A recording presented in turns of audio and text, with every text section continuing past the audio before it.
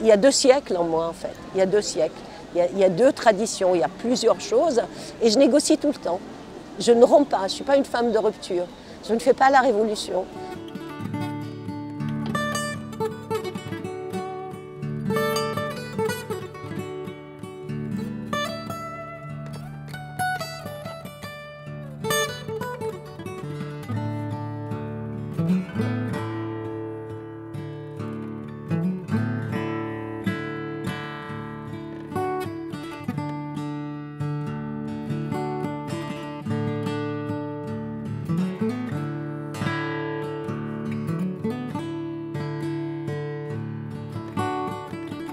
Que je vois là, par exemple, dans cette manifestation des littératures itinérantes, c'est qu'on est en contact avec le public.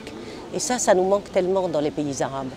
C'est-à-dire que c'est rare les manifestations où on porte la littérature jusqu'au euh, jusqu'au lecteur lui-même. Donc moi, voir toute cette jeunesse, toutes ces femmes et ces jeunes filles qui viennent, euh, qui nous parlent, qui parlent d'eux-mêmes, même s'ils n'achètent pas, ce n'est pas un problème. De toute façon, s'ils n'achètent pas, ça s'explique, c'est parce que le livre est trop cher.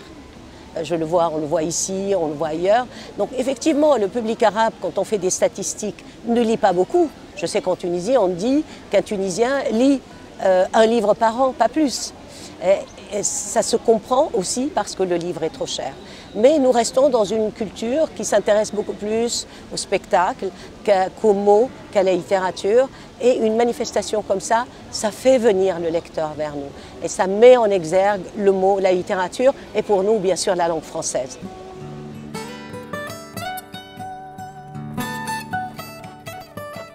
J'ai connu la France à travers la langue française quand, à l'âge de euh, 8 ans, on a commencé à étudier le français.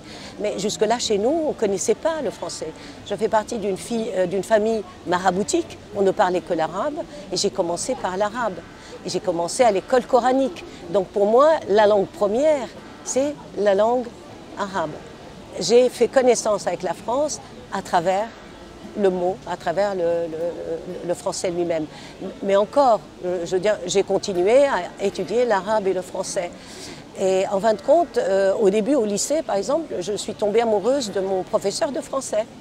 Et donc, je, me suis, je faisais tout pour lui plaire, y compris, euh, je mettais un peu de colle dans les yeux, mais en même temps, je soignais mes devoirs. Mais c'était une manière de séduire mon professeur, c'était une histoire d'amour. Et je ne savais pas à l'époque que ce n'était pas l'histoire d'un amour pour un homme, mais c'était déjà le commencement d'un amour pour une langue. Je suis devenue française par la langue. C'est ça ce que je réclame. Et que euh, parmi tous les pays que j'ai fréquentés, euh, le pays dont je où je suis née, la Tunisie, la France, je suis arrivée, ce n'était pas ça qui comptait. Qu'en fait, il y avait un seul pays que je recherchais, c'était celui de la langue française euh, dans lequel euh, je vis actuellement. Donc j'ai compris que mon destin, c'était comme ça, qu'il y avait une langue qui m'est tombée sur la tête.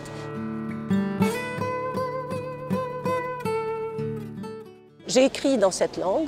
Euh, ça a été pour moi une façon de dire je, hein, dans un monde où on ne dit pas je. Vous savez, en arabe, on dit, euh, on dit il ne faut pas dire je, euh, que Dieu me- m'en garde de dire je.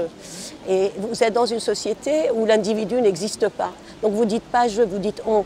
C'est la société de la umma, de la communauté. Et donc dire je, et en plus dire je quand on est femme, c'est une façon de dévoiler doublement les choses, puisque les femmes constituent l'identité de ces sociétés arabo-musulmanes. Et tout d'un coup, vous dites, voilà, je suis là et je vous raconte mon histoire, et je suis une femme, et je dévoile ce qu'il y a derrière. Et, je vais au-delà des frontières, et, et ça, c'est un acte un peu sacrilège. Quand j'essaye de me souvenir, quand j'étais petite, comment j'étais, eh bien impossible, je n'avais pas de corps.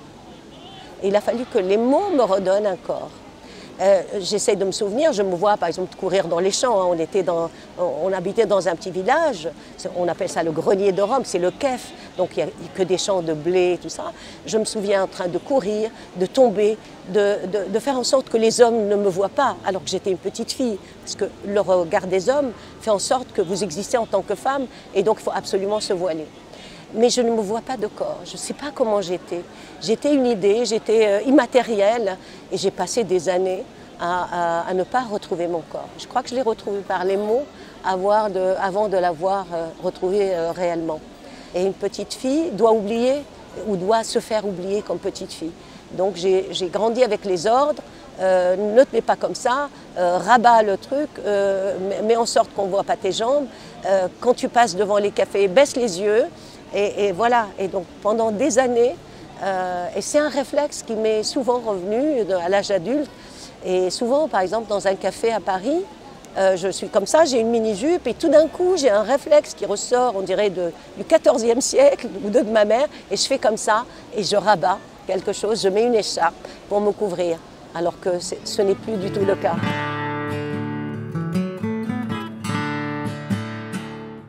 Je vis avec cette schizophrénie d'une femme qui aurait pu avoir le destin de sa mère, c'est-à-dire qui aurait pu vivre comme les, femmes musulmanes vivaient euh, il y a 9-10 euh, siècles, et je vis comme la plus moderne des Françaises euh, actuellement. Donc voilà, et il me faut négocier les deux en fait.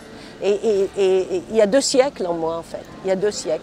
Il y, a, deux traditions, il y a plusieurs choses, et je négocie tout le temps. Je ne romps pas, je ne suis pas une femme de rupture. Je ne fais pas la révolution. Je négocie, c'est une caractéristique du peuple tunisien. Vous savez, nous sommes, c'est un peuple dans le consensus ils ne rompent pas. Même la révolution tunisienne, vous avez vu, il n'y a pas eu euh, du sang, euh, des morts. On a négocié, on a même eu le prix Nobel de la négociation entre les différents partis, etc. Donc c'est un peuple qui a une sorte de mécanique de vie qui fait qu'il faut absolument qu'il survive. Et donc on négocie les choses, on ne rompt pas. On n'est pas dans le tragique de la rupture.